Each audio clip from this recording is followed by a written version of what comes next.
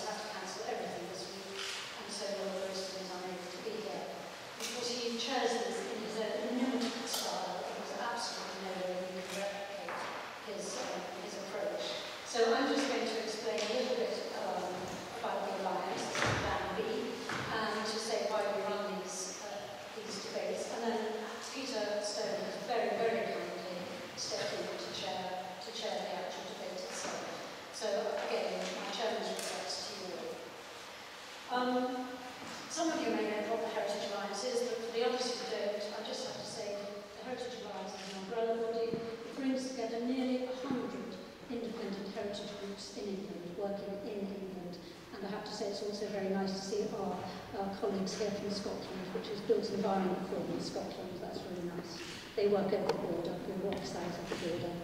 And what the Heritage Alliance does is to bring together a very diverse sector. We have the National Trust, Historic Houses Association, Council for, Business, for British Archaeology, and a huge range of very, very small organisations, railways, war memorials, piers, cinemas, you name it. There's somebody studying it and championing it.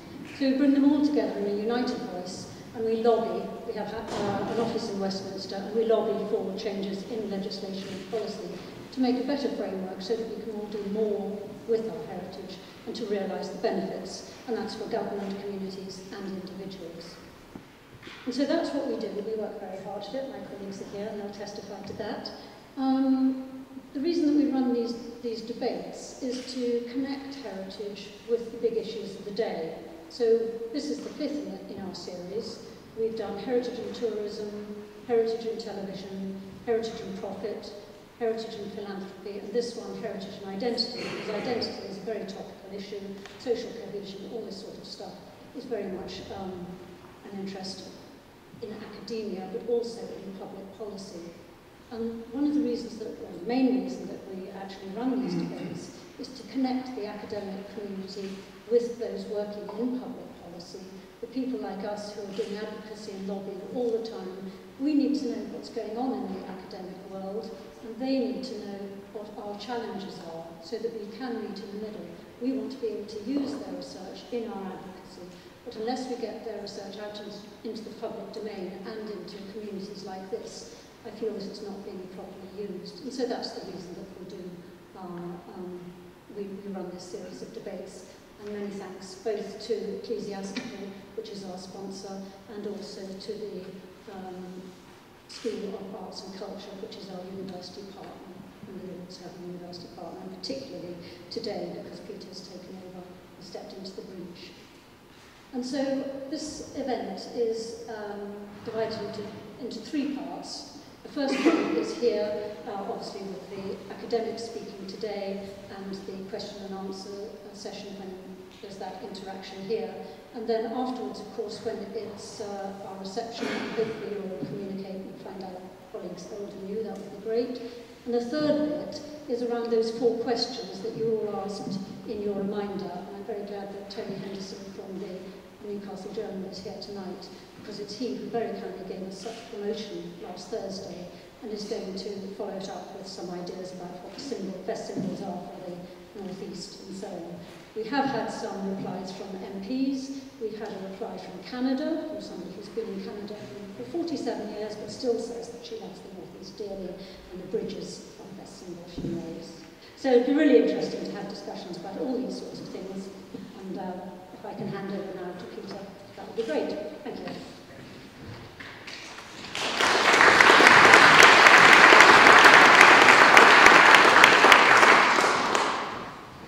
Thank you very much, Kate.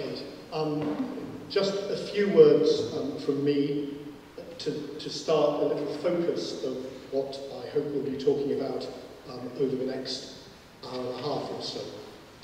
Uh, I've welcomed you to the university already, but I haven't formally welcomed you to the King's Hall.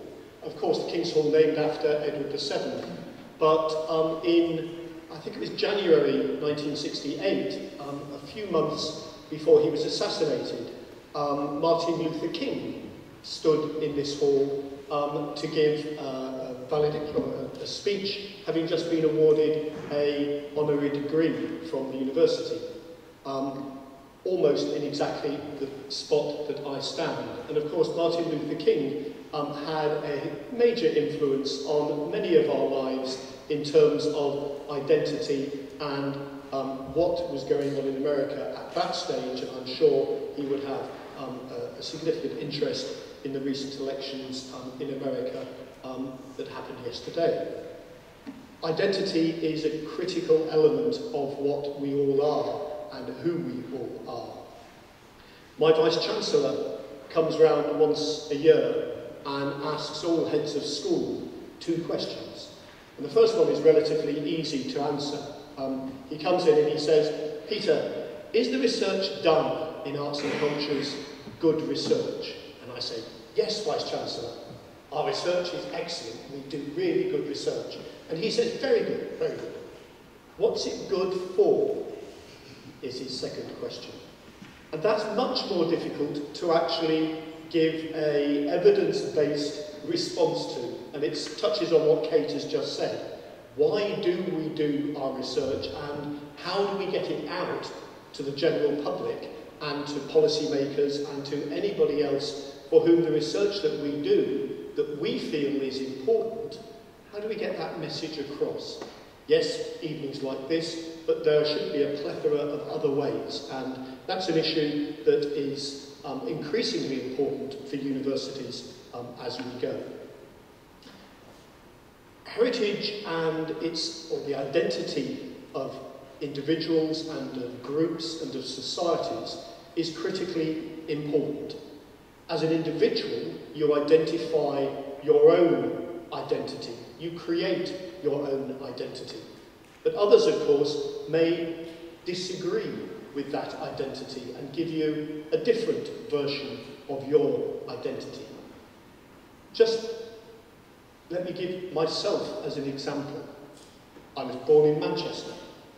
I have, as everybody else in the room, had four grandparents but unlike most of you in the room, I would guess, I'm a true Brit, in that my four grandparents were English, Irish, Scottish, and Welsh. I have always thought of myself as British, and yet it was when I went to Scotland to go to university that I firmly understood for the first time in my life that I was English, as I would sail through the air towards the loch every time England beat Scotland at any sporting activity because they were so angry with me, or I would sail through the air on any day that Scotland beat England at any sporting activity because they were so pleased they'd beaten the English. I was firmly, firmly English. I still identify as a Mancunian. My family laugh at me when I say that because actually I left Manchester when I was one, or a few months afterwards. And yet, when I go back to Manchester, as we did a few weeks ago, where my daughters are thinking of going to university, good lasses, I immediately empathise with my surroundings. There's the town hall, and it's all of the stories that my family tell me, told me, about them and our family are rooted in Manchester. I, bizarrely, having left there aged one and a little bit, feel at home in Manchester, probably more than anywhere else, apart from the small village that we've lived in for the last 17 years. My children tell me I'm an Essex boy, because I went to school in Essex for 10 years of my life. But that's a tiny little fraction, and yet that's what they say I am. All of my children were born in Southampton, where I was at, worked at a university. None of them equate with being from Southampton. One of them moved from Southampton at roughly the same age that I did. The others were older. Seven was the oldest. But he has no desire to be identified as somebody from Southampton. He and his siblings are all strong Northumberland children, and now young adults. That's their identity. That's what they believe in. It's a complex thing, identity. But of course, our three speakers are going to clarify and tell us exactly what it's all about and get it right so that we know when we leave here this evening that we, we understand what identity is. Or at least hopefully they will have um, provoked a few more questions about identity. And those three speakers are, and you've got more detailed notes in your packs, but Graham Bell, Director of the North of England Civic Trust, a member of the um, Heritage Alliance. Graham is also on the Council of Europa Nostra, the Alliance's equivalent in Europe. And Graham also works, he's just about to disappear, um, on behalf of the uh, architectural panel of the National Trust to um, Ireland tomorrow, North Ireland tomorrow. Issy Mohammed from the Library of Birmingham will talk about how communities and groups have an important role in shaping and reshaping their built environments and how emerging cultural heritages fuse the traditional with the new. And last but not least, Rhiannon Mason, a senior lecturer in Museum, Galleries and Heritage Studies in this university's International Centre for Cultural and Heritage Studies. Rhiannon's research and teaching interests focus on national museums and heritage, history, curatorship and memory. So we've got three excellent individuals to lead us on this quest um, and they've got about 10 or 12 minutes each to um, lead us to Liverna and its understanding exactly what heritage and identity is all about. Without further ado, I ask Graham to come to lead this discussion. Thank you.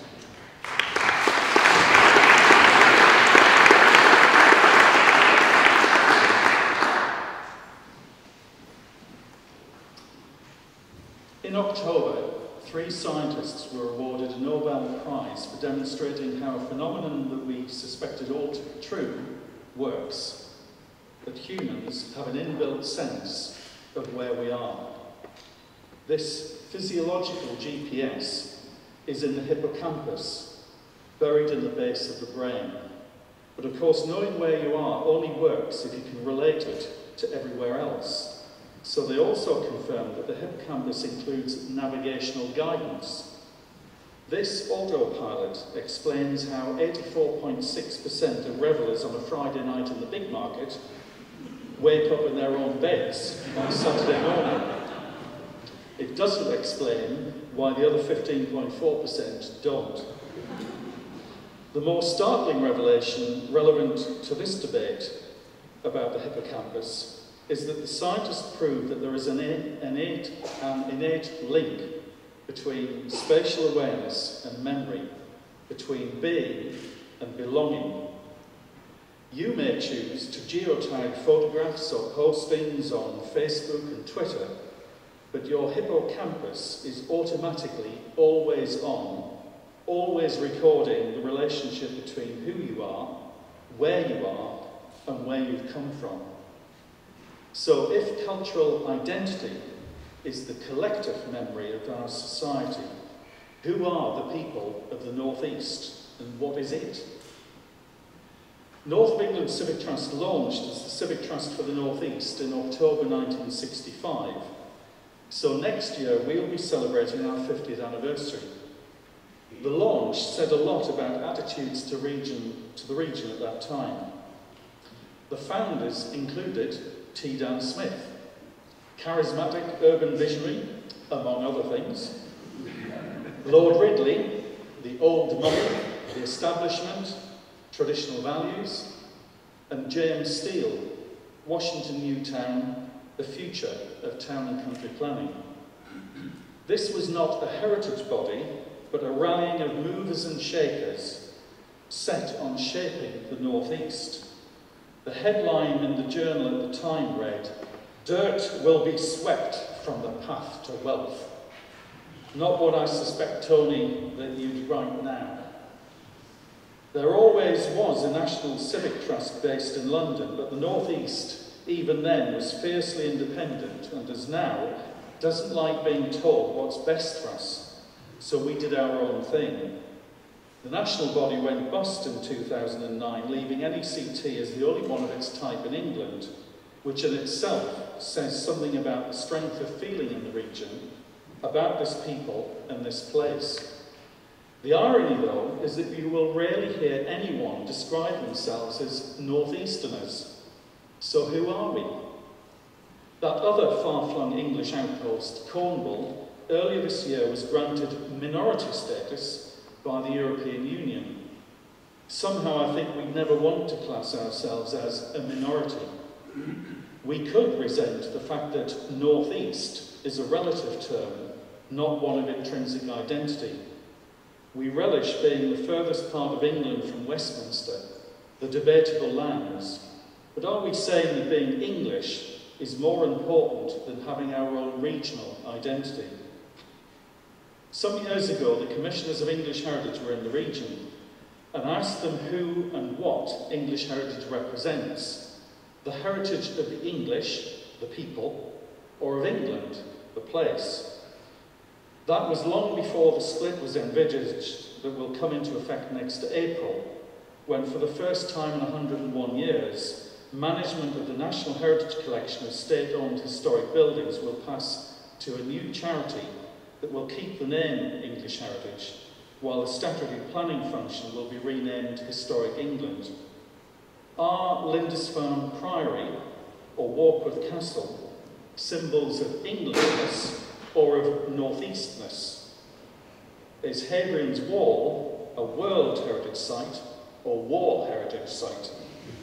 Do these speak of an England of old, where we came from, or a multicultural society in the global world, the English of the here and now, our identity and values? The relationship between people and place is more apparent if we stand back a bit and look at ourselves in a wider context. In the 1930s, a newspaper headline is said to have read, Fog in the Channel, Continent Cut Off. It gave the game away that really we measure the world from our island home. We are intuitively, and some would say stubbornly, parochial. Most people still think of Europe as being over there, another place. So presumably no one here thinks of yourself as being European. Is that why when Mr Barroso sends Mr Cameron a postcard from Brussels with a nice picture of the atomium on one side and on the other a message saying, wish you were here, running short of cash, please send 1.7 billion by return, the response is not quite one of the family rallying round in times of need. Yet Britain is held in high esteem across Europe as an exemplar for cultural heritage, how it's valued in our society, and how we cherish our distinctive identity. Europa Nostra has members in almost every European country, but Britain was instrumental in its inception over 50 years ago.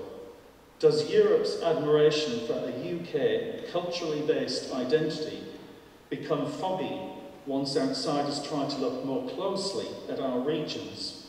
Is England big enough and diverse enough to have regional identities? Some years ago I set up a foundation in Hungary based on NECT Currently, I'm doing some research at the Institute for Social and European Studies into the relationship between cultural identity and Europe's nation states, which is particularly relevant for the UK and Hungary, both of which sometimes play on being at the margins of Europe. As the general election of 2015 nears, we use our should we, shouldn't we card to taunt the EU about whether we're in or out whether the drawbridge across the channel is up or down. Hungary is doing the same, whether to look west to the European Union or east to its former so-called mentor, Russia. Hungary's cultural identity rests on its language and currency, except that neither are used anywhere other than by Hungarians. It risks being marginalised by its own uniqueness is this a card the UK could play once too often?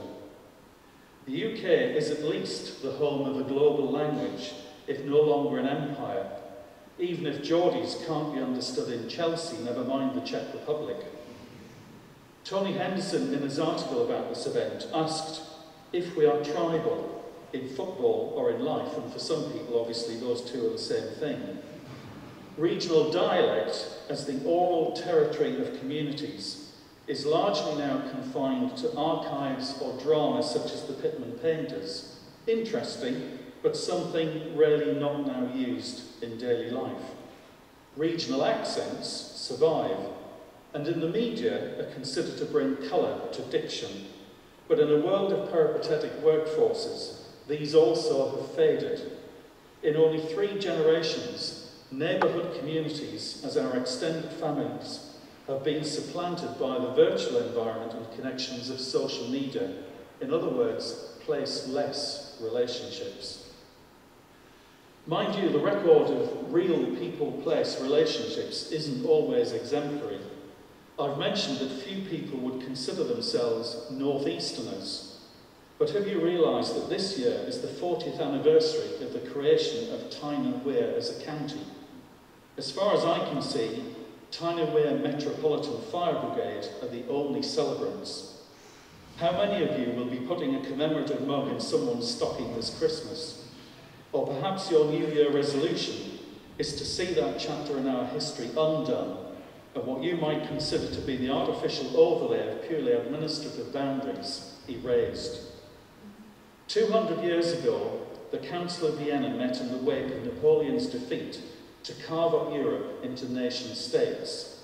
Trianon and Yalta had similar aims, leaving a mismatch across Europe where the homelands of nations, peoples with a, peoples with a common uh, ethnic identity, no longer aligned with state boundaries, places with a common governance. In the lead-in to the Scottish referendum, Tom Shakespeare, who for a while was based in this region, suggested the nation-state had run its course and we should revert to smaller socio-economic units that would re-establish a better fit between people and place and which for England would return us to the Anglo-Saxon kingdoms.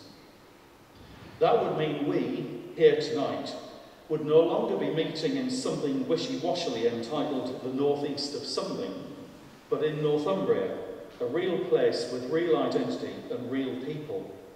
We would still be part of a nation, but how shall I put this? We'd no longer be in the state. Now, doesn't that bring a, a better ring about it? So, in best Riva tradition, if I can purloin and translate something David Steele famously once said, go back to your homeland and prepare for cultural revolution. Thank you very much.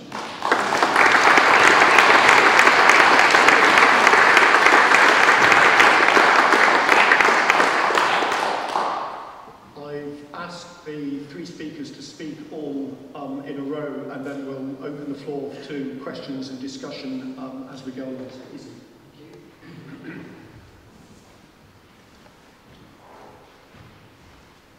Um, good evening, everybody. right, um, in the run-up to this, I was asked by um, Kate at the Heritage Alliance to, to reflect upon uh, my experiences and, I guess, work uh, within the city of Birmingham uh, and to draw upon the context, the multicultural urban context of Birmingham to help us reflect possibly more broadly and extrapolate more broadly about context of the nation as a whole, maybe opportunities or circumstances in Newcastle. Naturally, I couldn't necessarily talk in detail about Newcastle, don't have too much expertise about the different projects and programs here, but my work particularly around engagement, cultural engagement and participation uh, through um, heritage has um, allowed me to have quite a useful overview of the different communities and different programs and projects in Birmingham, so I'll try and reflect upon that. Um, Britain is now said to be made up of diverse communities and cultures. We now describe our society and its respective cities, towns and localities as being multicultural. And by saying that, we also refer to, I guess, largely some of the migration uh, that's taking place in the post-war era. Um, I was asked to also think uh, particularly about um, the more longer established groups that have been um, arriving and settling in, uh, in Birmingham, but also uh, nationally. So we are talking about groups from the Caribbean and from the Indian subcontinent and also their descendants. There's a, a distinction to be made here between those that were migrants and arrived as migrants and, of course, those their descendants. A very different set of experiences. The communities and groups that comprise that diversity have had, through time, an important role in shaping and reshaping their built environments, compelling us to rethink too our historic environments. This particularly in regards to the lives, stories and experiences that populate certain areas and that constitute the now, the respective emergent cultural heritages that fuse the traditional, so to speak, with the new and the rapidly changing, and in terms of ideas around sense of place and belonging, towards perhaps a notion um, of social and cultural inclusion, and even on towards integration itself. The, this brief presentation will cover four sites of projects within Birmingham and that are situated around parts of Birmingham, uh, in the engagement of groups and the representation of diverse cultural heritages and identities, each has attempted to address issues by trying to understand the challenges present, presented by specific contexts, by thinking about possible opportunities therein, by accepting their own limitations, and by being open into dialogue and learning. The four sites or projects I want to talk about are Aston Hall in Birmingham, some of you may know it, um, the National Trust Back to Backs, Cannon Street Memorial Baptist Church and their oral history project, and SAMPAD, um, who are arts organisation who do work primarily around the South Asian community and their project called the My Route Project. So to begin with, Aston Hall is a Grade 1 listed Jacobean house in Aston, Birmingham, England, designed by John Thorpe, built between 1618 and 1635. In 1864, the house was bought by the Birmingham Corporation, becoming the first historic country house to pass into municipal ownership. It is still owned by Birmingham City Council. It is now a community museum managed by the Birmingham Museums Trust and is open to the public during the summer months uh, after a major renovation was completed in 2009. Their website explains Aston Hall is one of Birmingham's uh, most treasured buildings, redisplayed as part of the of a, as part of a development project. Aston Hall boasts sumptuous interiors from the 17th, 18th and 19th centuries, including the magnificent Long Gallery, display rooms illustrate the part Aston Hall and its residents played in key moments in history, including the English Civil War, and how it prepared to receive royalty on more than one occasion. Um, that's quite an interesting description. What we have, though, in the area of Aston now is a, a very diverse community that has changed over time and that diversity to some extent has increased. And so that has presented a number of different challenges for the site and the, the professionals and practitioners that are there at that site and more broadly within the Museums Trust to think about how they can make that site, that building more relevant um, to the local community uh, in the area, how they can make the cultural fabric of the city through that building more relevant and resonate for those groups. There are efforts made by the team at Aston Hall to engage with the local community but vary, with varying degrees of success. Even with targeted projects and programs, the task of engaging diverse communities residing in the area, uh, residing in the area has been difficult. Um, I myself have had the chance to provide some support um, and deliver some workshops and activities in the area.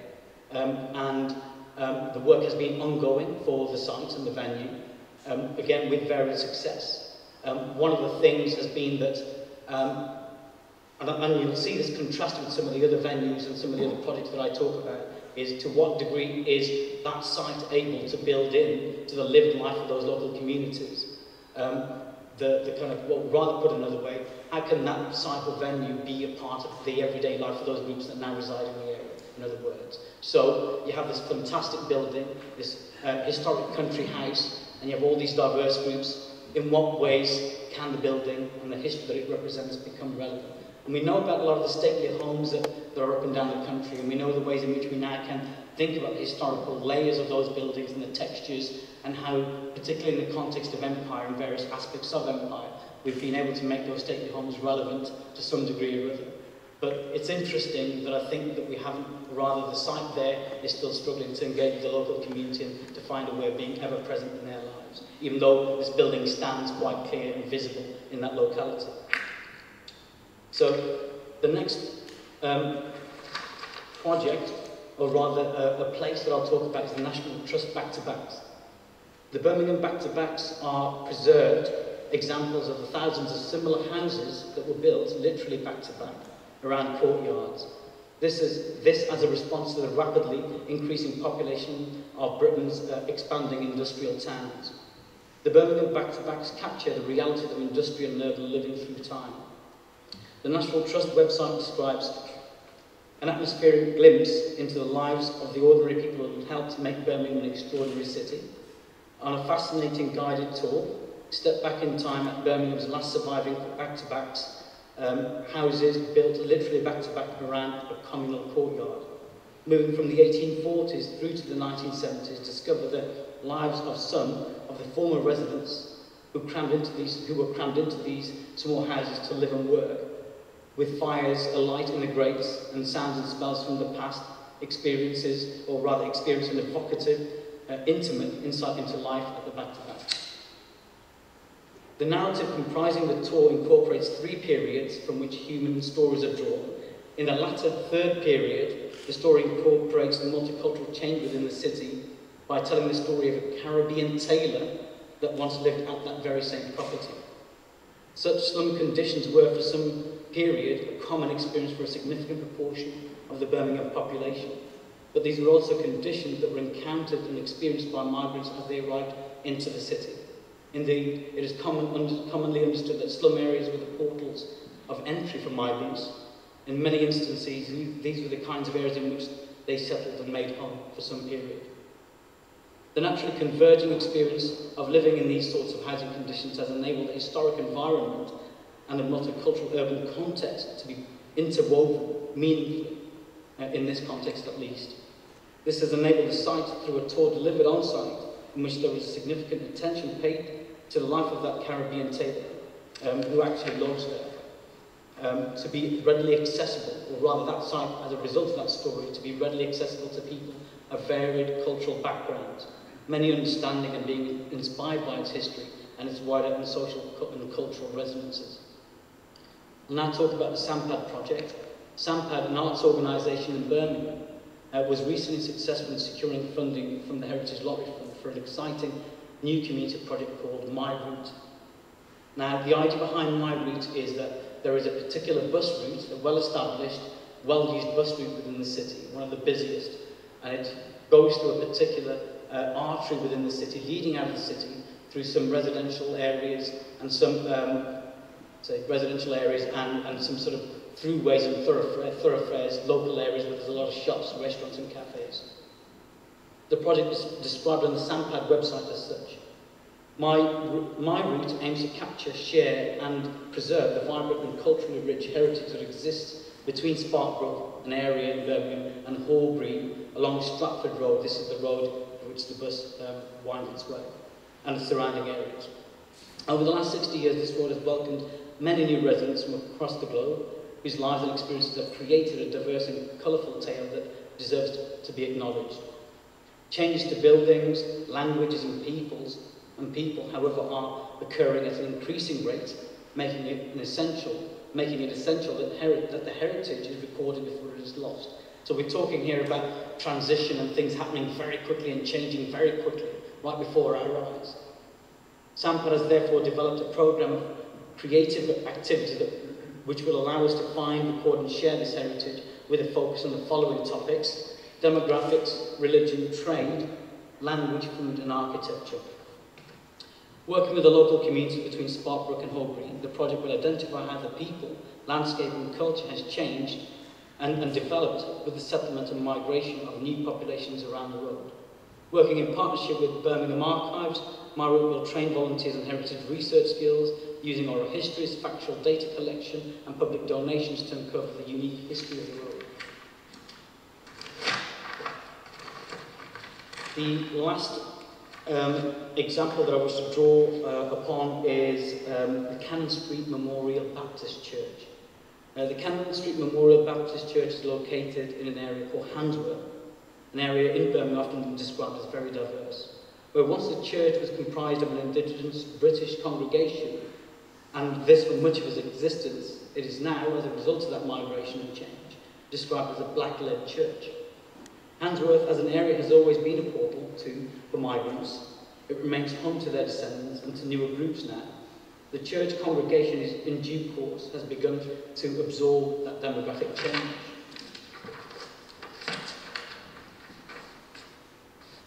We know that religion is an essential aspect of everyday life for many groups, and the members of groups who would remain largely interested would look to continue their way of life wherever they find themselves. So while the physical building had remained largely untouched, those finding significance inside had become culturally different to those who had founded the church in the earlier era. If they were, even if they were to a large extent religiously similar. It should be mentioned that this particular change of transition wasn't easy for many concerned. Critically, the church, as it is now, had recognised that the elder ranks of its congregation were thinning out. And these were some of the earlier migrants who had come into the city and had started to join the congregation to find a way of um, um, fulfilling their faith and religion. The church acknowledged that those uh, with the memories and stories of that earlier period of settlement um, were passing on, basically, as mentioned, the numbers are thinning out. Responding to this issue, the church developed and delivered an oral history project between 2005 and 2007. The project was um, funded by the Heritage Lottery Fund. The Cannon Street Memorial Baptist Church uh, Oral History Project in total collected over 100 oral testimonies. These are now with the Archives Department at the Library of Birmingham. This collection of oral histories is, very, is very important for showing how migration and social change can be woven into the historic and the built environment of a particular locality. The church, while reference, referencing simultaneously the multicultural urban context of an area of Handsworth.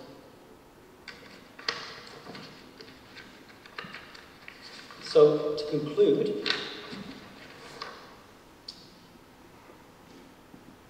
I guess um, what I've tried to reflect upon there through that range of projects and locations is um, the different ways in which uh, an urban context will have changed and flowed through time, particularly through migration, and how either localities or the usages or the utility of particular localities might change or be reshaped by those groups in those areas.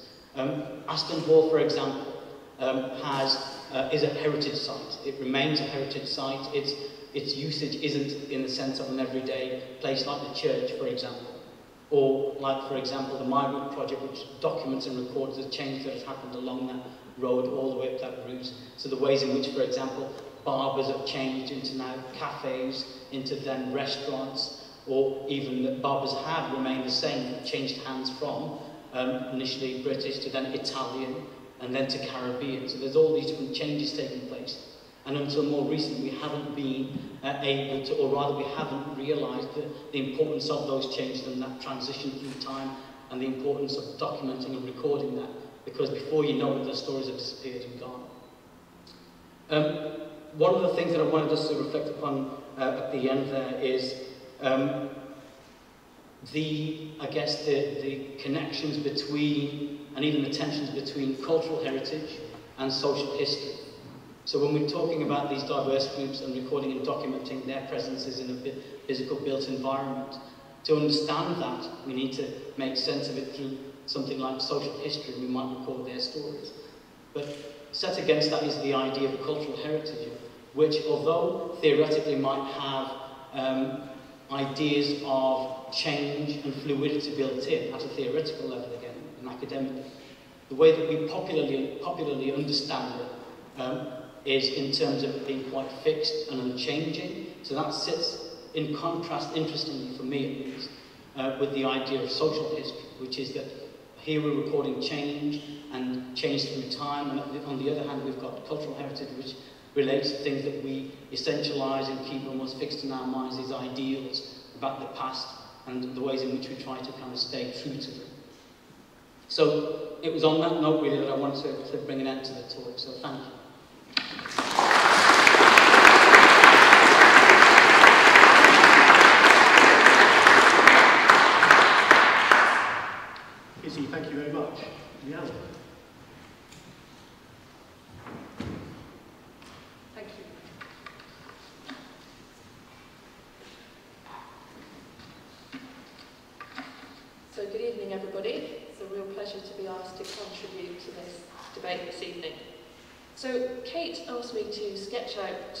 key ideas in current academic thinking about heritage and identity, and also to think about how people relate to heritage in terms of their personal identity.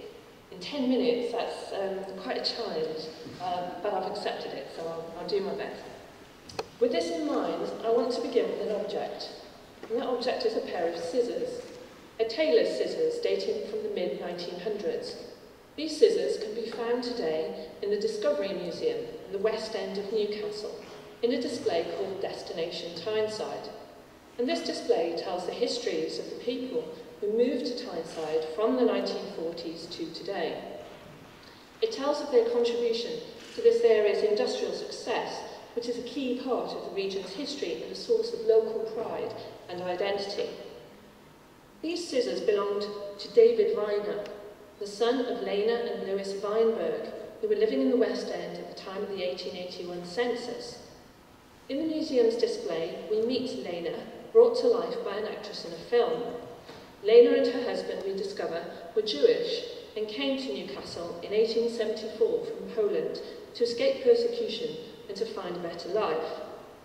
Lena explains how they found work here as shoemakers and how they came to feel at home in Newcastle, although they kept their Jewish traditions like celebrating the Sabbath. Her children stayed in the region and one of her sons became a tailor, later changing his surname to make it more English sounding, Weinberg to Viner. Lena speaks of feeling welcomed locally, but also tells how at a national level concerns were being raised by politicians and the media about too many migrants coming to the UK, especially Jewish ones. The film ends with a poster about the Aliens Act of 1905, which restricted the number of Eastern European settlers allowed into the UK. Under this act, those who were unable to prove they could support themselves could be refused entry. The Weinberg's migration story is one among many represented in the museum's display. As in many parts of the UK, industrial expansion during the 19th century and high wages attracted people from far and wide. People flocked to the northeast from Wales, Cornwall, Ireland, Cumbria, Lancashire, as well as Poland, Italy and the Yemen, amongst other places. The display tells us that by 1900, about 2,000 Jewish people were living in Newcastle's West End, By 1911, 6% of the total population was Scottish and Irish, and 37% of the population overall in the North East had been born outside of England or were the children of migrants. The reason I've chosen to begin with this example tonight is because it encapsulates many important issues relating to heritage and identity. Heritage can be extremely personal Something as ordinary as a pair of scissors can be a prized family possession, passed down through the generations with the story of what it meant to that family. Objects work as symbols, they act as cues and evidence for stories about what individual people have experienced in their lifetime. So heritage is about as much about the meanings and the stories in the present, the intangible aspect, as about the tangible remains of the past. When put into a formal heritage context, in a museum, that personal heritage takes on a collective resonance and is given special status as officially recognised heritage. In this case, the scissors become emblematic of the story of 19th and 20th century European history, in particular how Jewish people, amongst others, have been persecuted for their heritage and identity across generations. In turn, we are reminded how the histories and heritages of different localities, nations and ethnicities are linked together through migration stories and shared events like the two world wars. So on the one hand, this is a story about one family, but at the same time, it is about our shared history. This example reminds us too that while we sometimes speak about the local, national and global as though they were different and separate spheres, in actuality, they are always connected and influencing one another. So this display is important in that it connects the 19th and early 20th century history of Tyneside to contemporary stories of migration and diversity in the northeast. A wall towards the end of the display asks people to share their reasons for settling in the northeast more recently, and the display also invites us to put ourselves in the shoes of others. We are asked to imagine what would it be like if we had to leave the place we call home and start anew? An interactive display for children asks them to imagine packing a suitcase, You can't take everything with you, so which precious objects will you put in your suitcase? It asks. In conjunction with the display, the museum's learning staff work with children in local schools to explore issues of migration and identity. Displays of local history such as this one show us that notions of heritage and identity are always on the move. They do not stay the same. The identity of the Northeast has changed each time migrants have brought their own practices, traditions, food, music, dialect and so on. So we should not speak of identity and heritage, but identities and heritages. In both cases, these concepts are multifaceted. Your identity, like your heritage, can be understood in terms of religion, ethnicity, gender, age, locality, nationality, sexuality, and so on. And these facets are linked and intersecting.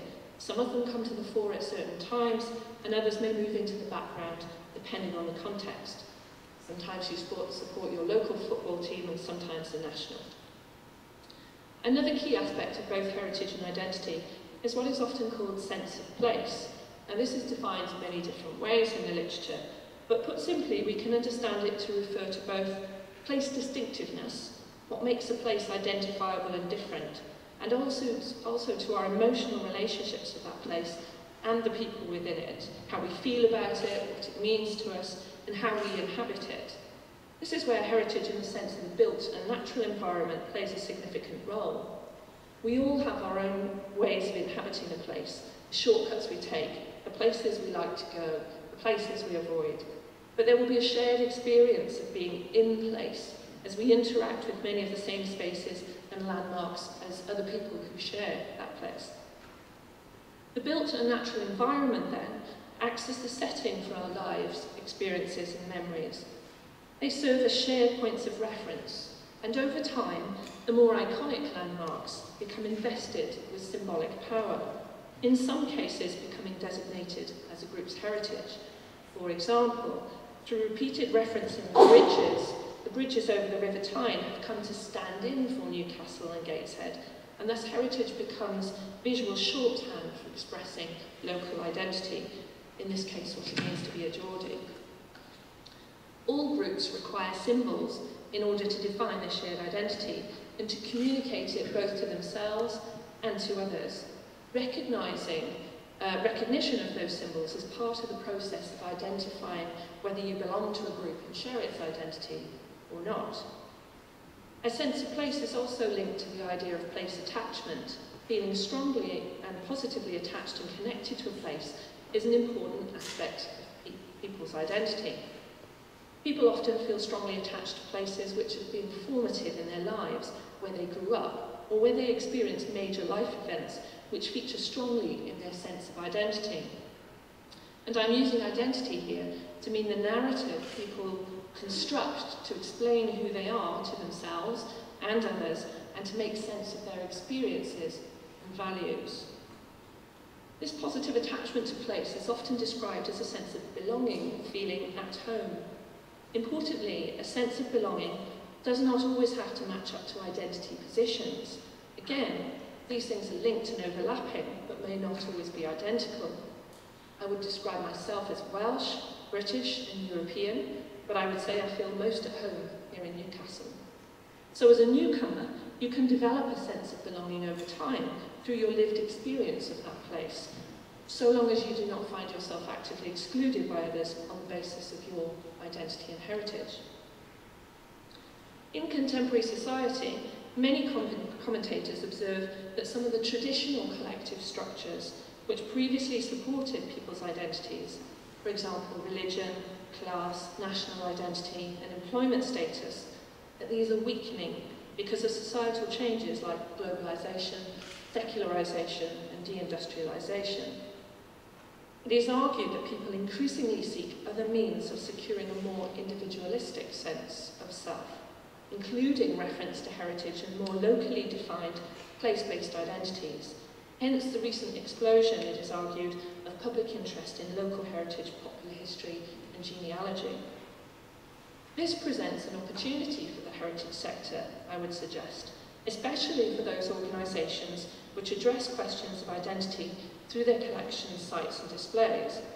there is an enormous potential here to engage with this interest and to be part of the debates that society is having around questions of identity, diversity, migration, globalisation, Europe and so on.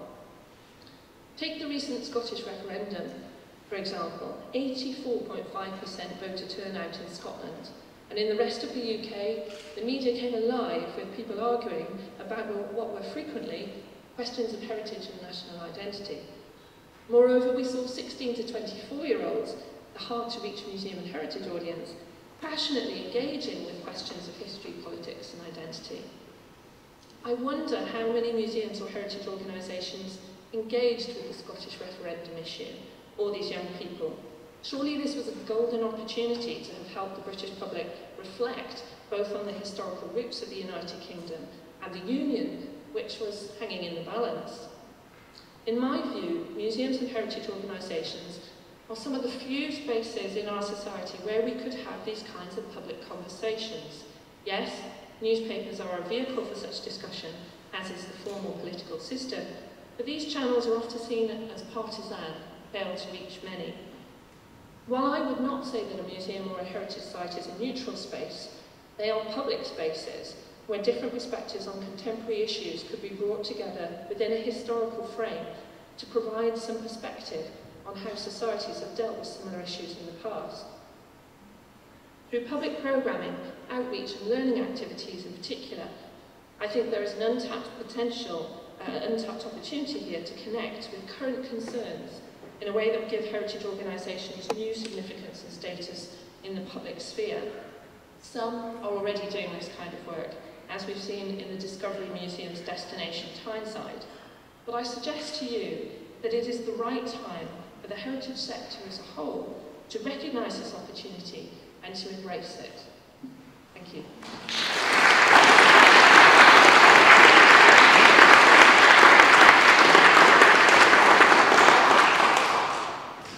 So, Rhiannon, Izzy and Graham, thank you very much for those contributions. Um, it's now time to turn the discussion to yourselves. Um, my plan is to collect two or three questions together and then ask the, the three members of the panel to comment and, uh, and answer, if necessary, those questions or if relevant, to answer those questions. So, um, we've got two roving microphones um, that will come round if you, uh, if you wave your hand in the air.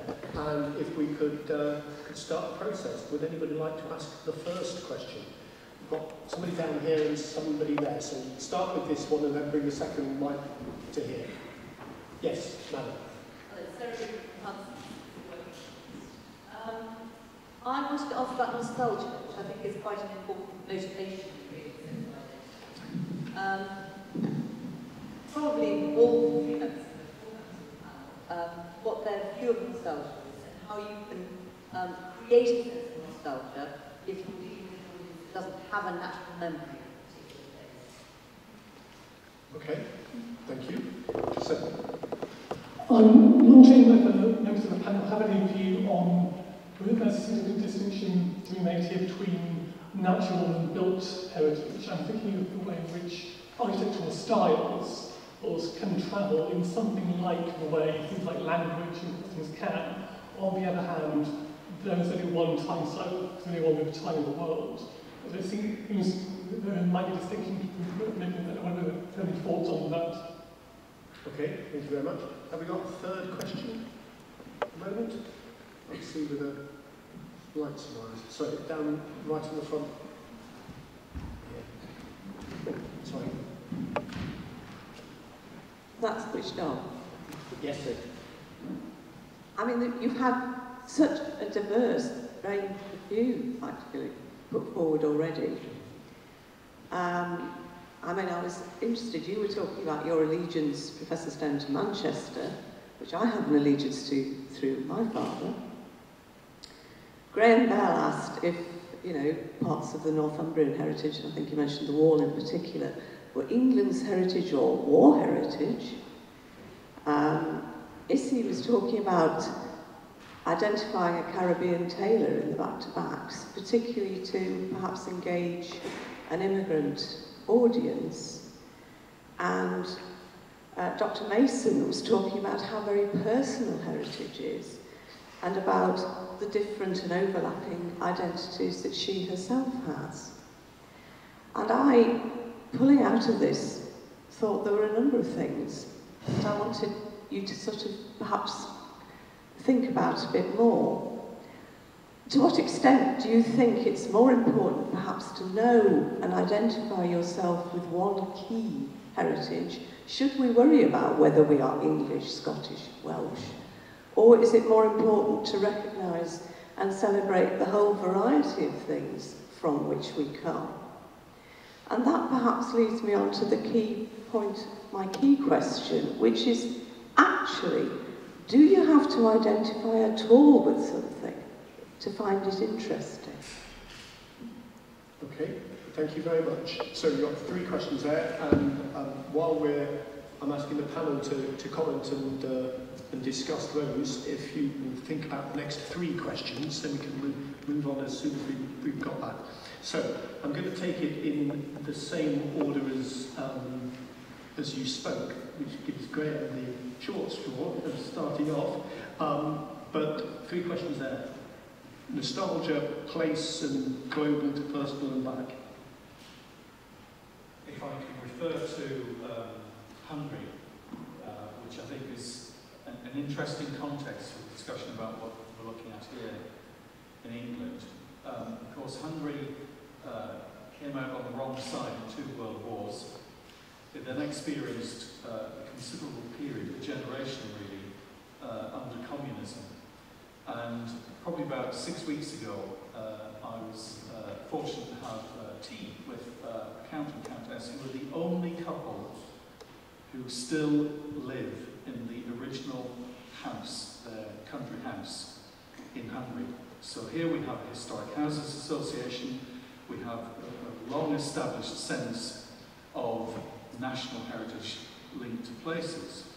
And here we have a country where that connection that disconnection exists. And the country houses have no contents because all of that was purloined um, at different stages, so the, the historic houses are just simply gaunt shells. And I think it's made me realise that here the value of identity is about continuity. Um, we have a very valuable um, opportunity here to be able to see heritage as being a continuous process. It might have been progressive, it might have had some major events and some gaps, but largely it's continuity. And I think one of the things for me that's interesting from the three presentations is about the, the, uh, the intangible. And for Hungary, um, heritage is not so much about the physical, because in a sense it's been stripped of a lot of its physical heritage. It's about the intangible, it's about the relationships, the symbolism. And I think that, for me, coming back to this country, is something that, in terms of the Discovery Museum and how you know, a pair of scissors really brings this sense of identity down to something touchable, very physical, very understandable at all age groups and at all levels. So that's something I think we can do more about. And you're right in the sense that uh, it's a bit of a meaningless debate whether it's Englishness or Northeastness or something else. Um, I stopped short of referring to Tyne and Wearness because in the sense it was sort of Tyne and Wearness. Um, and, you know, it, does it really matter? I think it is about the personal component. So we, it is about society being the, the accumulation of individual experiences and opportunities to engage with it. Okay, thank you. Izzy? Yes. Um, Yes. um, the, coming from the um, right here, by the way, um, coming from right, maybe, try one more time. Um, on the topic of the diverse multicultural urban context that I was referring to and the range of migrant groups. Or at least we're referencing that. When we talk about nostalgia, I guess what we're talking about is memory. And when we're thinking about memory and trying to think about nostalgia and looking back, um, it's fundamentally about the connections and the way that we can understand those connections. So in the case of migrant groups, um, there's the issue of time, I guess, and that is to what extent, or rather how much time has um, elapsed between the thing that we're possibly trying to be nostalgic about, about and the time in which we exist from whence we look back, uh, trying to be nostalgic. So in other words, um, each and every moment presents itself with things that may be remembered, um, and over a given period of time we arrive at whatever moment in our lives where we look back and we reflect and we can potentially be nostalgic about these things. I think relating to the, the question of, you know, is there a single heritage that we should really be focusing on? I think, I think it's inevitable that there'll always be a multiple set of heritages. We cannot avoid that because it relates fundamentally to the fact that we have multiple set of identities, contexts and situations in our lives. And we identify with all of those in different ways and at different times. And so that will lead us to pull these different threads out at various points and bring us to a state or a situation where we are nostalgic or reflect. Um, so for migrant groups, I guess it's you know, whatever that they look back upon and the challenges they may have initially overcome and the circumstances that they lived through and how they responded to that. Um, it could be anything from the local, again, as I mentioned a, a little bit ago, the um, uh, Caribbean barbers that they used to use. It could be the local cafe that was the first place that attend in their little groupings, where they'd be able to get some of their own food. There's a whole variety of ways, just referencing that sort of, sort of multicultural dimension of migration. And at some point we might see a convergence, and what I mean by that is that slowly we see how some of the things that more broadly we value society, British society values as heritage, um, the, the migrant groups that have settled, how they start to see some of that feed into the thread of their own lives and start to see that as being important to them too. But wrapped into that is, of course, the, the narrative of their own lives and their own experiences. So the whole nostalgia thing is quite an interesting thing, and I think for a lot of groups that's still playing itself out because they've not necessarily been here long enough. But there are, at the same time, things that they look back upon that have, you know, uh, significance in their lives. Thank you. Yeah.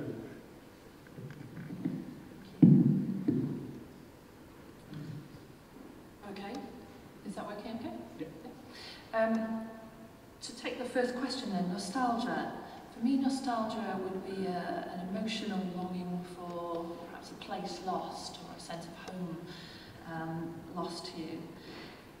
It's an interesting question, isn't it? Um, how, how do you connect people with ideas like that when they're coming from, from different backgrounds, when they perhaps don't have that shared common collective memory?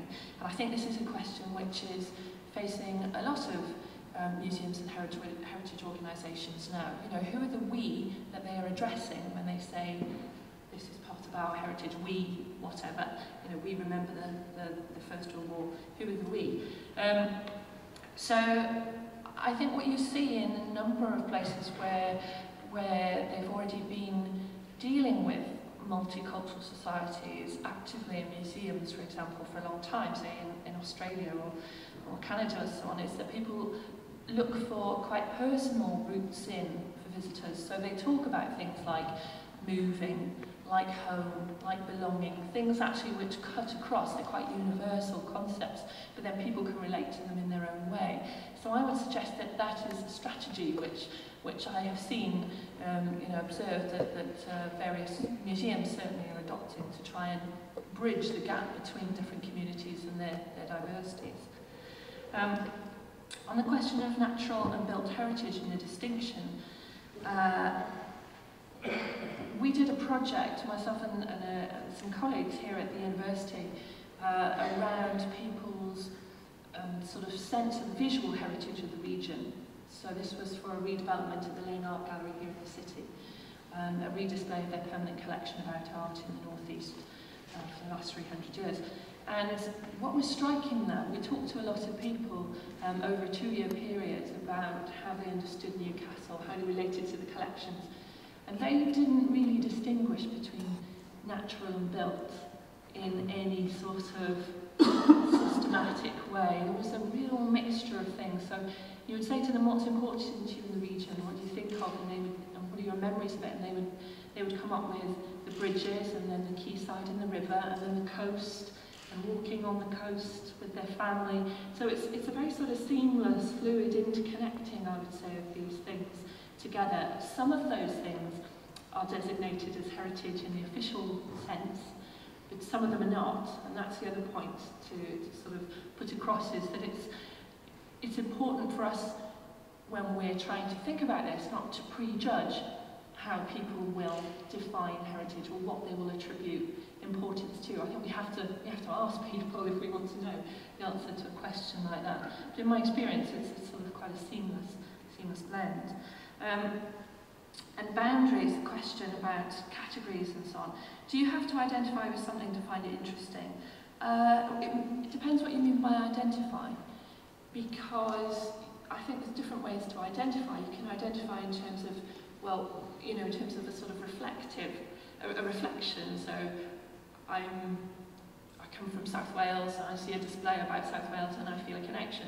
But you can also, I think, identify through sort of analogy. So I went to the um, Museum of the History of Catalonia recently and actually looking around that display made me think more about growing up in Wales than other displays I've seen about Wales, if that makes sense, because there were parallels, there were commonalities. And sometimes it's that thing of, of, of looking at, at uh, an issue from another side, from an outsider's perspective, that triggers responses you wouldn't expect. So I think identifying and identity are related, but they're not the same. They're not the same. They don't have to match up in a sort of symmetrical way. Um, do you need to identify with a single identity or multiple identity? Well, I would say, like, like Izzy, it's inevitable, I think, that people have a connection to multiple identities. They're always overlapping, they're always intersecting, they're always multiple. Um, having said that, some matter more than others in some contexts. So in the Scottish referendum, national identity came to the fore, and that was the key thing people were talking about, although there will have been other identities sort of um, nested in, in that uh, sense of identity or connected to it. I think it certainly matters if you're excluded. Then it really matters whether you can belong to the dominant group or not, um, because often you'll be ex excluded, excluded by other people. So it's that question of you may wish to belong, but you may be denied that opportunity. So there, I think it is it is crucial. But ideally, I'd like people to identify in as many ways as possible because I think that's the way to encourage people to understand each other across, across divisions like ethnicity and religion and so on, and to see what we have in common. No, absolutely. Um, I mean, one sort of final uh, note, just to, in a way, try and pick some of those, or pull some of those together, one of the things that we've all been talking about is the identification of identity or the self-identification of identity, what I feel is important. But as I mentioned at, at the beginning, there is also the view of other people's version of identity, and the danger comes when identity is um, imposed or created by a large group um, or a dominant group for everybody else either to be included into or officially excluded from. Um, and there are countless examples of that. We, one of the obvious ones is um, the 1930s and 40s in the National Socialist Party in Germany. Um, and one of the little known units in the SS was their archaeological and anthropological division, um, which um, arrived in town immediately following the Panzers um, and reinterpreted the European past as it should have been reinterpreted, correctly of course, um, as it had been badly interpreted by the Poles or the Czechs or whoever they had just rolled over. Um, and so it's the danger of the lack of multiple identities is a uniform identity imposed on us. Um, and I think that's a, a, an issue to always keep in the back of one's mind. Anyway, do we have three more questions? Lady at the front. Yeah.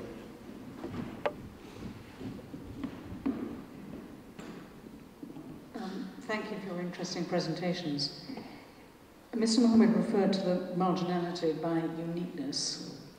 I would like to raise the question of intangible heritage to which you've um, accorded importance and to raise what you think academia and umbrella bodies and individual organisations can do to seek to persuade our government to consider signing convention for the safeguarding of intangible cultural heritage. You've all referred to the intangible. It's something with the soul and spirit of place and people, and I just wish we could get it signed. Thank you. yes, thank you.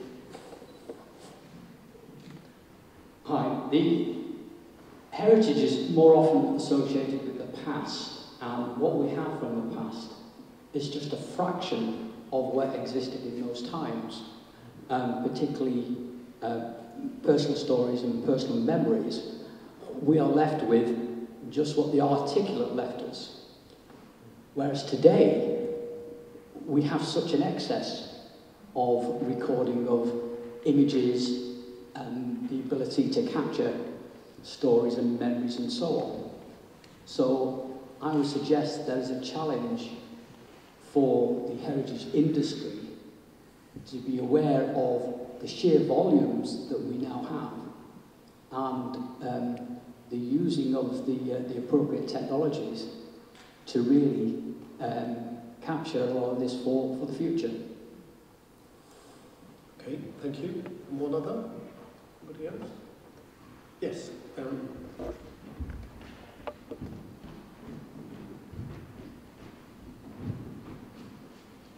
Uh, when we talk about um, heritage, do we really mean tribal? Tribal in the sense of national, uh, in the sense of regional, and even interregional with Tyne-Wear rivalry? Uh, is tribalism and territory and defensive territory hardwired into humans? And is heritage a socially acceptable, polite way of saying, this is us, this is our tribe? And if it is, what are the ramifications of this? all right, thank you very much. I think it's only fair to keep the same order, but I suppose while you're thinking about it, Graham, um, just uh, to answer, well not to answer, but to, to comment on the first question, how on earth do we get um, Her Majesty's government to, to um, ratify the Intangible Cultural Heritage Convention? Um, uh, yeah, question, or answers on a postcard, please. Um, they haven't even agreed to sign that convention. I've been trying for the past 12 years to get the UK to ratify the 1954 Hague Convention on the protection of cultural property in the event of armed conflict. And we, we, sorry, we signed that in 1954. Um, we still haven't got around to ratifying it and passing it into law, um, despite the fact that the UK government um, promised to do so in 2004, that it passed select committee in 2008, and we still haven't got round to doing it. So uh, how you pressurise Her Majesty's government um, and its members, goodness only knows. Graham, that's given you enough time to think. um, the marginality one, I think, is, is fascinating. Again, one of the themes that came out of the presentations was about um, the more transient nature of society now. And I was just thinking about how few people will live their entire life in one place or one area and will have a job for life in terms of their working experience. And therefore, with society being more mobile, how do you track the heritage or the traditions that emerge from generally a more mobile society? And that's where, to me, the intangible heritage rises up the agenda. because the connection between place and traditions and heritage is less bound than it had been in the past. And in some ways, that picks up the other question about uh, the legacy of heritage that we've inherited, because um, we're probably living in an age now where the problem is not whether something is going to be preserved, but that we've got such a volume of um, archives records. It's actually finding things and being able to edit or to prioritize things. So I think there is more opportunity for the intangible and for the, um, in a sense, accessing what might be described as the ordinary man or the sort of, you know, not the sort of headline heritage. Uh, more opportunity now than there's, there's ever been. Um, coming back to Tony's point about um, tribalism, in a sense, is that something that we're going to lose? Because if populations are more migrant, more uh, on the move, you know, one of the points I was making is that in a sense we don't have the strength of place-based community that we did even three generations ago. So um, does tribal still count? Uh, are we becoming more a nation or indeed a society of individuals? I think that's an interesting thing that within the museum sector, as well as broadly, more broadly within heritage, is, is just a fascinating question rather than an answer. Izzy.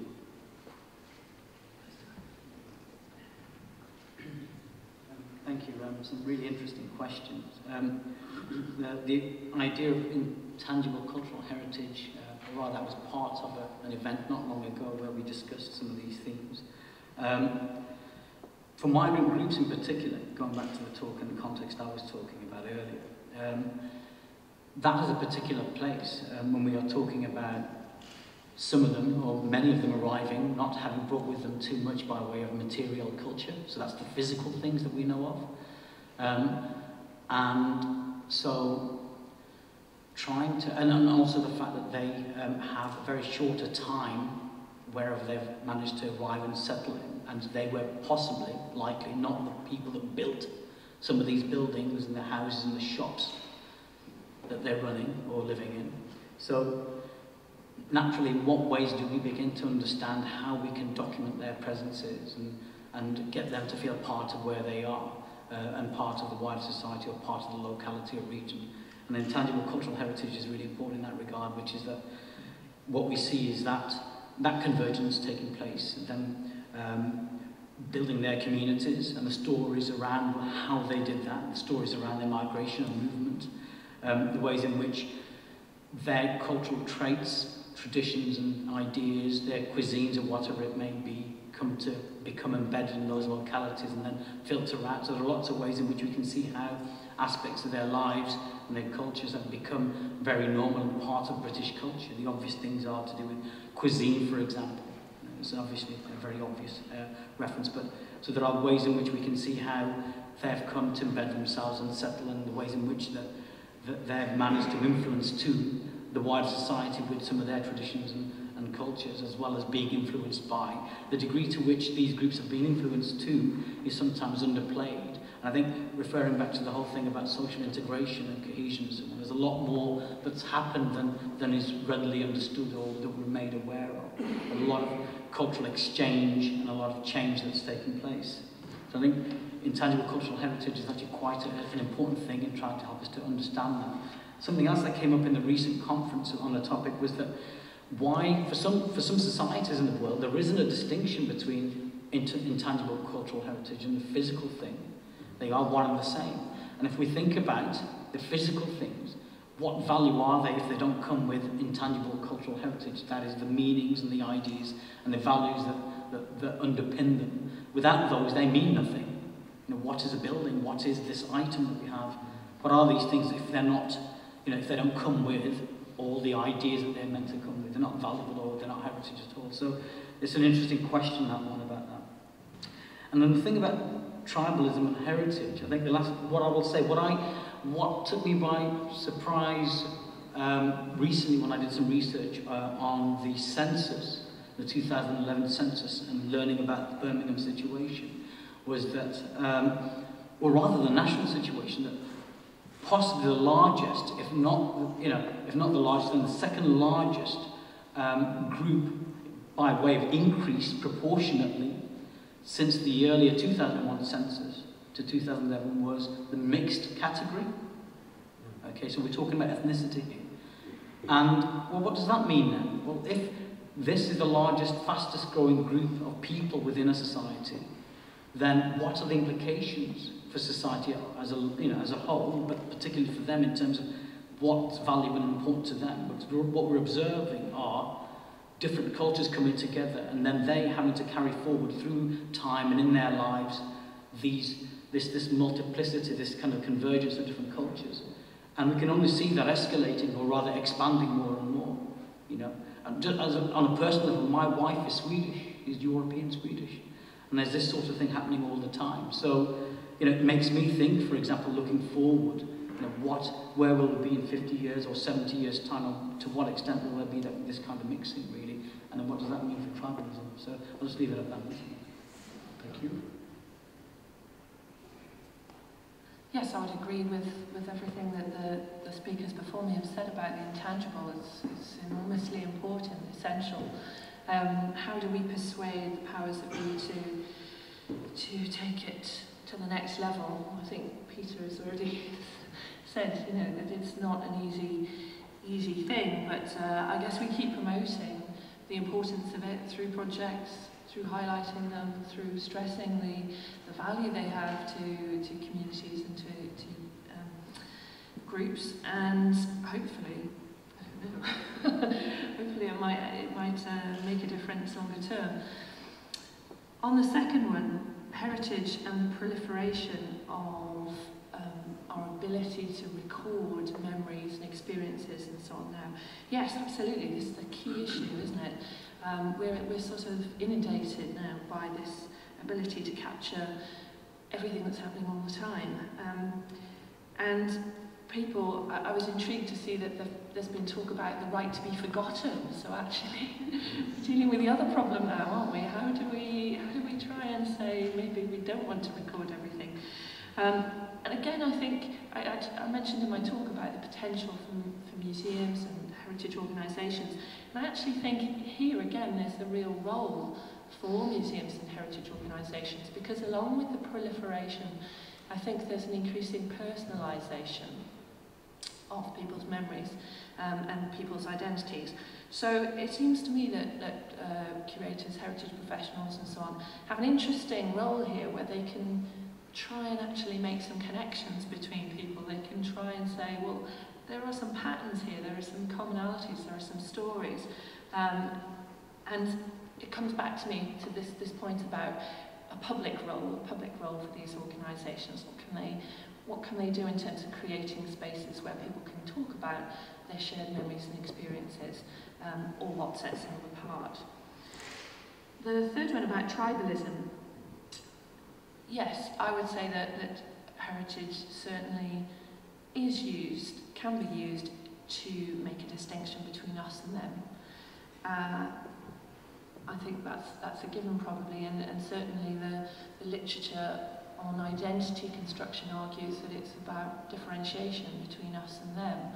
Um, but it's a, there's a question about um, where the tipping point is, where that's positive and that helps with social cohesion, um, and where it tips over into actually uh, a problematic, a, a too strong expression of us. As opposed to them, and then it becomes about exclusion, about racism and xenophobia.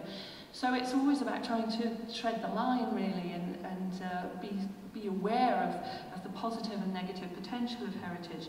And again, this is where I would see a role for um, museums and heritage organisations to help societies to reflect on some of those claims you know, those claims about who we are, who they are, and so on, are often made on the basis of, of I would say, quite shallow evidence in the sort of short historical memory. And what interests me is as soon as you go back a little way, you can see it's much more complicated and the stories are much more diverse and interconnected. So I'm interested in the, the longer, deeper perspective that we can bring to these conversations about who we are um, and, and who us and them are. Absolutely. Okay, thank you. Um, a final few questions. Yes, lady. Thank you. Helen White from Tynemouth Archives and Museums. Uh, I wanted to thank members of the panel for some of the kind words that have been said about the Destination Tyneside Gallery, which we're responsible for. Compares later. I wanted to share an experience I had when I was working in the London Borough of Lewisham about 13 years ago now. And um, I was a sort of frustrated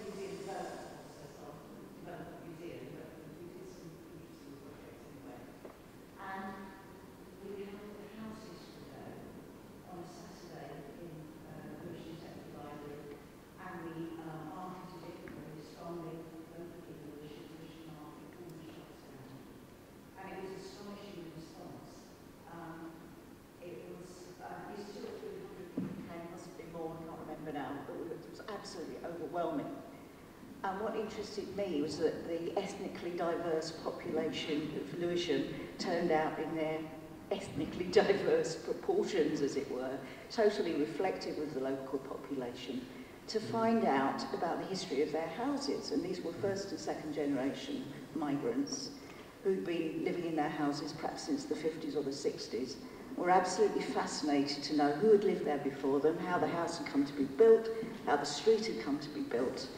And it really sort of taught me a thing or two about not to make assumptions about what histories people are going to be interested in mm. or what they're going to identify mm. with. And it was actually a very, very moving and you know, exciting experience. Thank you very much. Any other questions?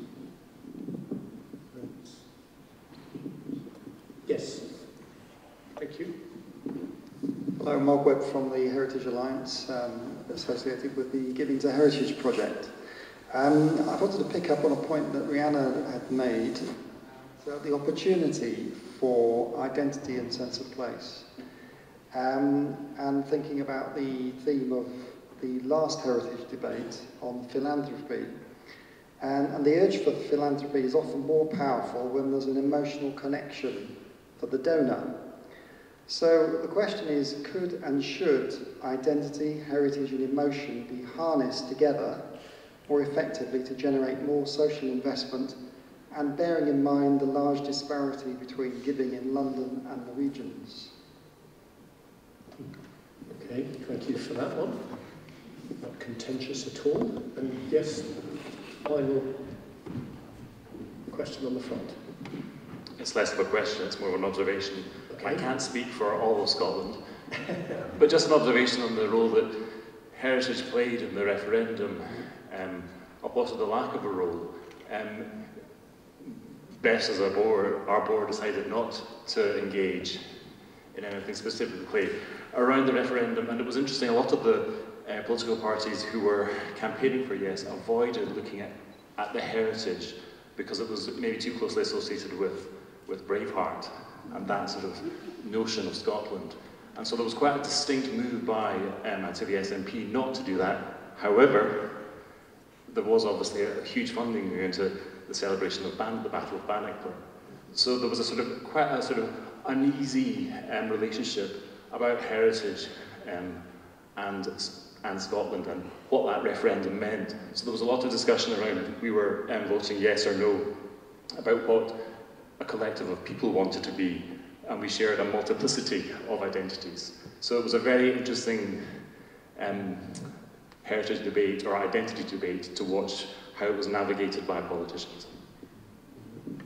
Thank you very much. Um, I, just a little anecdote. I um, did my um, secondary school teaching practice in Scotland, and I was. Um, it just happened that I went into one school um, to do a six-week stint, um, and so with the third year, as they were then called, I did the um, Wars of Edward I um, with this group of kids in in a relatively rough end of Stirling. And um, one of the kids asked me at the end of the first lesson, are you teaching us this because you won't be biased, sir?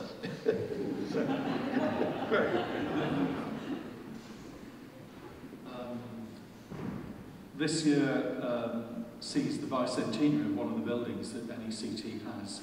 And last week uh, I was invited to attend a performance which was planned, um, choreographed uh, and performed entirely by local people. So instead of it being a form of official heritage, um, you know, this is the official line and we will participate or engage with local people. It, was absolutely bottom up and the stories that emerged um, as they um, recounted over 200 years really of what this building had meant in their society was absolutely amazing involving um, primary school children right way up to uh, an 85 year old. And I think that for me was the right kind of recognition of what heritage was about. It wasn't packaged, it wasn't in a sense um, tidied up or uh, presented. It, it, was, it was raw, local emotion, uh, it, um, some of them, the events being very positive, some of them being really quite sore. Um, and I felt that this, this really is the absolute essence of what we're about. It might be the stories, it might be about things that happened, events, it might be about things to do with um, the building. So this idea about opening up what heritage means, I think, is the era that we're in. Um, at the last election, um, some of you will remember the, the newspaper headlines about the bonfire of the Quangos and this whole feeling that um, the public sector was going to be dismantled and that, of course, um, us being British will step into the breach and, you know, rather than see all these things lost, we will do everything voluntary basis. It's been interesting to see over the last four years how much has been taken up by volunteers, how much has been lost. And this again is something that is a very strong trait within this country, that we have an established third sector, we have an established sense of um, response, social responsibility, um, and, and society plays upon that, whether we're giving financially or whether we're contributing as volunteers. But the volunteer basis of things um, does open up the opportunity for those kind of stories to, to become part of what we're presenting um, as our heritage. Um, the Scottish situation, I think, um, was interesting. There was, um, some of you may have seen in the, um, that most noble of newspapers, the Hexham Courant, um, the uh, mock-up that they did at the border at Carter Bar, showing how you know it would really look if you, there was a customs point.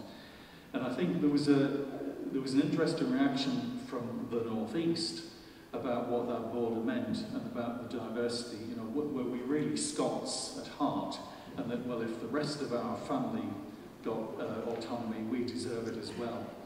So looking across that line was a fascinating experience. And um, one of the discussions I've been having since with people is instead of we now, us now having a disunited kingdom, is Scotland disunited? Um, the, the feelings I'm picking up is that that isn't the case, that people have kind of said, look, we've got it out of our system, let's just move on. But that would be an interesting point to hear from those closer to the ground. Great, thank you. Izzy? Yes, um, Was really interesting, the story about um, um, the museum and the diverse groups that attended the exhibition to learn about who had lived in their houses before. And I think what jumped up at me straight away was that, um, and, and related to the back-to-backs thing that I mentioned earlier, is that I think for, and I'll touch on again, in regards to the talk I was talking about diversity in different groups and so on, where groups can find a way in, that's when um, there is an opportunity for that convergence. I think, you know, so in that particular instance there, um, you know, people were interested who lived in the houses before they had. They are, if in effect, treading in the footsteps of certain people before them. And if these houses are 150 years old or 170, it would be wonderful and fascinating so the linkage and the thread is there, the reason for wanting to know. And I think, you know, something that's really important to me and in the work that matters for me why, why I care so much is about representation. I think it's through represent representation is a really big word. It's massive. Its implications can't be understated at all. It's through representation we start to bring about greater, I guess, you know, we use the term cohesion or integration, but these ideas that we have, it's hard to describe what they might specifically mean in practice, but it's through representation that we move continually forward and that we allow for people to have conversations and be in the same room together. Um, so that's really fundamentally important to me. Um, along the lines of the philanthropy, I mean, I would just simply say on that that you know, there are particular people who have the money that will send that money on into sort of, um, I guess, causes that they're interested in. The danger is, is that, you know, not just London, but certain kinds of causes will have money head in those particular directions. And so, we you know, how do we expand that to make sure that in an environment where we might say there might be increased cuts, and it's happening all the time, and we see the kinds of provision that were more inclusive become, um, in, you know, are in danger of being reduced and in fact ended altogether or cut altogether. How do we replace that? Because that inclusion, that, that thing, the processes that brought people together and into a room, different groups, and so on, Without those, without those resources, that stops. And if philanthropy follows the normal routes and channels, then we just see some certain kinds of his histories and heritages represented, and then we have all these huge columns of people in particular areas that are completely missed out altogether, and then we don't have a chance for dialogue and, and sort of joined up learning and working together. Thank you, Rhiannon. To pick up on the idea about the house research, again, I would say this is, is a really good example of where the, the historic environment can be um, used for very powerful effects. So, as Helen was saying, find out about the people that have been there before. You can then move up a scale to find out which communities were there, and you can trace patterns about, you know, these groups moved here, and then they got more prosperous, and they moved here, typically. So you can then start to plot around a city stories about um, societal change and so on, and connect that, hopefully, back to that individual's house. So it's, it's moving between the individual and the collective uh, in, a, in a very effective way. And um, I was struck as well by, Izzy, I think you mentioned bus routes, didn't my bus. We did a project, uh, um, the project I mentioned earlier in the Lane Art Gallery, we got some young people to talk about their bus journey through Newcastle. And again, it was a fascinating example of how you could get people to um, reflect on their lives, the experiences, perhaps neighbourhoods they didn't typically get off the bus in, and why that was. Um, they, they would reflect on how the different neighbourhoods looked more well cared for, less well cared for, and you know, there were a whole range of things which flowed from that in understanding people's own experience of place and the, and the groups that they were living alongside, but perhaps not never, uh, not ever interacting with. Um, on heritage, emotion, and identity, I would say they're always connected.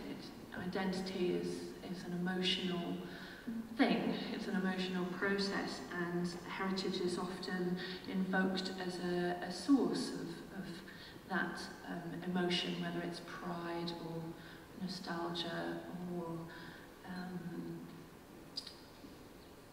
maybe exclusion, possibly sometimes. Uh, how you relate that to philanthropy is quite an interesting question, isn't it? Um, I think in some instances, some topics will provoke an enormous amount emotional charge. I'm thinking of, say, museums that deal with topics like um, the Holocaust or slavery, and I'm sure there that people do feel very connected and probably want to support those kinds of activities. Whether you should try and manage it is, an, is a slightly different issue, I think, because that leads you into a territory of, well, are you manipulating people's emotions or are you working with them. So again, it's a quite a fine line, isn't it? I guess it would depend on the individual case. But I think emotion is always part of the equation. I would agree in the, the, the point that, that Izzy just made about um, philanthropy and, and the disparity between perhaps different areas of the country where there'll be more opportunities for philanthropy and also things like business sponsorship. Um, we do have to be careful that that doesn't end up skewing uh, the, the situation so that less well-off areas basically get less access to, to heritage. I think that is a concern. Um, but I'm sure there are many positive ways to think about philanthropy as well, so I sort of wouldn't, certainly wouldn't dismiss um, that as, a, as an important way forward. On the Scottish point, um, yes, I can completely understand why Scottish institutions were, were nervous because it was such a such an emotional and controversial and politically sensitive thing. Um, I'm not suggesting that Scottish institutions should have weighed in and said, you should vote this way or you should vote that way. What I was thinking was really to offer a space where people could debate those things and engage with those sorts of questions um, because really we're better. We're better than the institutions that hold the material about the history of the of the Scottish nation or the, the union, you know, we're better really to have those conversations. And I would say that for the UK as a whole, that these the museums, heritage organisations, they have the material to help us think about these issues. And that's what we should we should do. Okay, thank you very much indeed. Um, looking at my watch, we are out and over time, I'm afraid. Um, so it really just leaves me to thank the three speakers for um, very provocative um, contributions. they haven't quite answered the question, um, but they have left us with a lot of things to think about. To thank yourselves very much for those questions and for coming this evening. Um, thank you for coming to the university, and uh, I hope we see you again soon. And finally, please don't leave the university until you've had um, some of the uh, wine and I understand nibbles and things that are going to be put out for us. Um, and finally, to thank Heritage Alliance for thinking of Newcastle University when they wanted um, a, uh, a venue in the northeast. So thank you very much, and can we um, just thank the three speakers in the normal way?